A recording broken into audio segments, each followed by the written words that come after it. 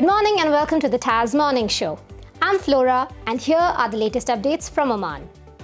13,855 pilgrims from Oman have completed Hajj travel requirements.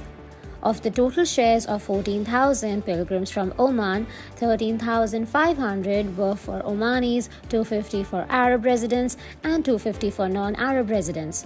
The head of Oman's Hajj mission explained that the total constitutes 86.9% of obligatory pilgrims, 1.8% of the pilgrims carrying out a will on behalf of a deceased person, 1.8% of pilgrims on behalf of the incapacitated, 9.5% of the voluntary pilgrims are female relatives or companions.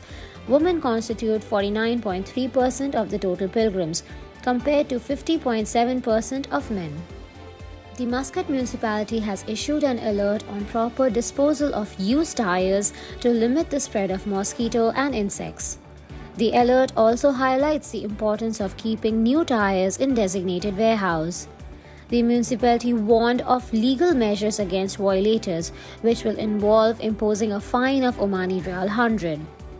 The Ministry of Labour continues to monitor local markets to ensure expatriates are employed as per authorized license. The Ministry of Labour, represented by the Directorate General of Labour in the Governorate of North Al Sharqiya, continues to monitor local markets covering construction as well as other employment sectors in the Governorate.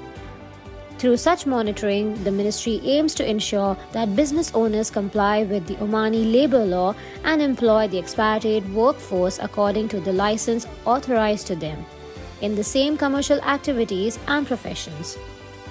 Thank you for watching the TAS Morning Show. Follow the Arabian stories for the latest updates.